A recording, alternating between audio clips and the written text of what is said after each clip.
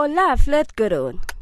I am in India for the first time, and I want to know. I am so curious. Are all Indian men such drama queens? I mean, I always thought real men never cry. But this man, my man, he always cry, cry, boo-hoo, boo-hoo. Why, Flirt GuRoo, why?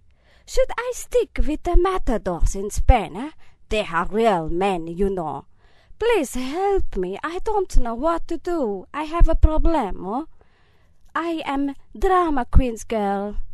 First, I would suggest that you decide whether you're from France or from Spain.